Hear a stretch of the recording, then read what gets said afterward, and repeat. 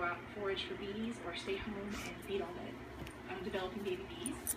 Or the drones, which are the males that don't really do anything whatsoever. Um, so you can kind of see all the, the different, very, very different lifestyle that a bee has compared to us.